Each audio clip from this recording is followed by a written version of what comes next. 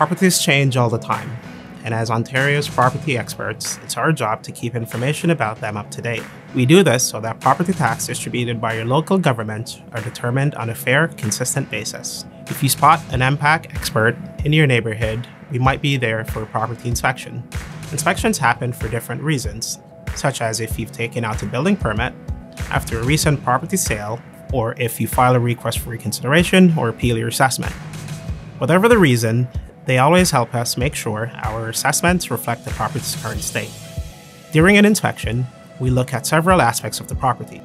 We verify and update details for the structures on the property, including pools, garages, and sheds, plus we confirm the lot information. We may also ask to confirm details about the inside of your home. As we work, we often take photos for reference too. Remember, as MPAC property inspectors, we always identify ourselves, explain our purpose before we get started. If you're not available, our inspectors will leave a door hanger to let you know we were there and why, and if there is any further action required. Check out mpac.ca to learn more about what we do.